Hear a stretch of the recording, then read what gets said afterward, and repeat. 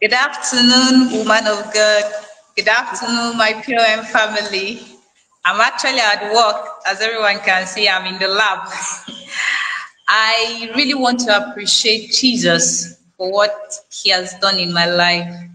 When we started this program, I was not feeling too good. Even when I read the book of Psalm, chapter 100, and the woman of God was asking, What's wrong with you? Your voice is so low. I said, I'm not feeling too good. In short, when I started the fasting, it was as if I could not make it, but I was still pushing on. I even had to buy drugs, but I said, No, I must participate in this fast.